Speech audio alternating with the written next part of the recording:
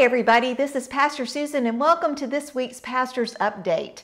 I have some exciting information to share with you. Um, you will probably remember over the past few years that at least once a year we have had the opportunity to um, learn in growing in self awareness and in our faith in God, actually, as we have taken the Enneagram journey uh, together. We've had several groups that have already been on this journey and have found it very valuable for understanding themselves and understanding the motivations of other people.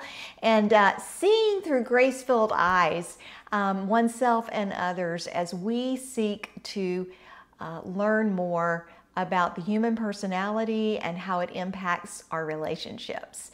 Um, it's one of the ways that we learn to love our neighbor as we love ourselves, as we come to self understanding. And, and so today, um, I'm going to share with you a couple of things. But uh, first of all, I'm just excited that this class will be starting again next month from September the 8th which is a Tuesday through November the 17th. Every Tuesday, there will be an Enneagram Journey online class that you can take. Um, Phyllis Reed along with Linda Micah, who are both licensed counselors, and Pastor Diana will be uh, co-leading this class. And uh, to help introduce you to the idea of what the Enneagram is about, I'd like you to hear what Phyllis has to share. Hi there, I'm Phyllis Reed, and I'm here to talk to you about the upcoming Enneagram study. And I'm actually one of the facilitators, and I'd like to invite you to uh, think about coming and joining us. Often I've found when I've been in uh, conflict with somebody else that it's due to misunderstanding of my own motivation but also of the motivation of the other person.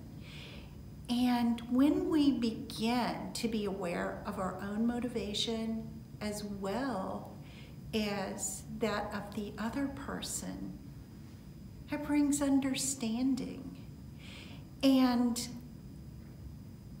the understanding leads to peace in our relationships, in our homes, in we can take that peace into our work, to the grocery store, and to wherever we go. Thanks, Phyllis, and thank you all for listening to our weekly update this week. Remember that uh, we are here for you. We want to support you in every way we can. And there will be opportunities for you to learn and grow through classes like these. I hope you will sign up today.